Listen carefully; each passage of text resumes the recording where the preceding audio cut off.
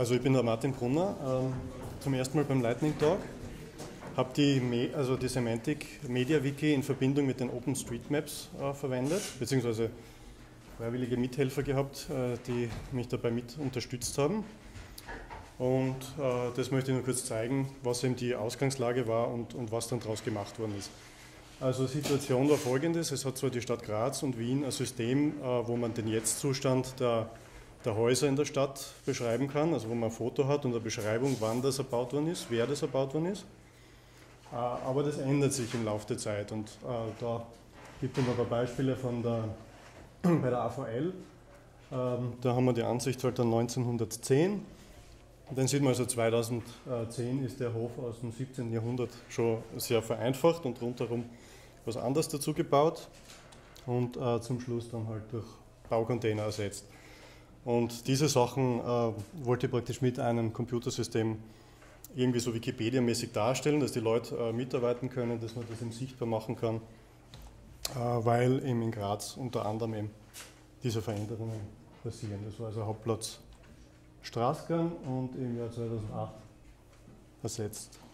So, da gibt es eben noch, ja, und, und eben auch ähm, wirklich um, um diese Dinge bewusst zu machen. Wie gesagt, das hat man in den 60er Jahren dann schön gefunden und dafür das abgerissen. Und äh, jetzt geht es dann gleich zum Technischen und eben auch, also es kommen auch Beispiele vor, die, wo also Sachen saniert worden sind. Und äh, technisch schaut es dann eben auch so aus, das ist jetzt äh, das Datenmaterial über also den JOS-Browser noch und rechts kommt es aus der MediaWiki soll dann eben im Endeffekt auch so umgesetzt werden, dass man eine schöne Karte hat, durch die man navigieren kann, wo man dann anklicken kann und die Häuser mit der Beschreibung sieht. Und so schaut es derzeit also in der Wiki aus. Hier sehen wir oben äh, schon mit Semantic Media Wiki und Semantic Maps das Ganze eingebaut. Also da sieht man den violetten Marker, das ist der von der Adresse, die gerade angezeigt wird. Dann die roten Marker rundherum, das sind die Nachbarhäuser. Das ist schon eine Semantic Maps Abfrage der geht also her und nimmt alle Koordinaten, die jetzt im Umkreis von, ich glaube, 80 ja, oder 100 Meter sind und äh, zeigt das nachher in dieser Semantic Map an. Wobei man sagen muss, man kann diese äh, Semantic Map noch nicht verschieben. Das heißt, also man kann es schon verschieben, aber die Marker werden nicht nachgeladen. Das wollen wir im Zuge des Projekts also einbauen in Semantic Maps und auch zu dem Plugin contributen, dass das nachher jeder verwenden kann. Ähm, was man auch machen kann, man kann in Kategorien machen, also wie bei der Wikipedia, ich lege jetzt eine Kategorie an gelbes Haus oder was auch immer.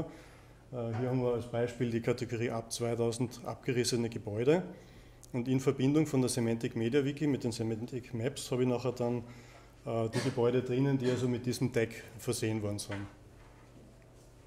Unten stehen halt die Adressen dabei, also das, das sucht er beides aus. Ne? Also Adressen sind ja ohne Semantic Media Wiki auch eigentlich.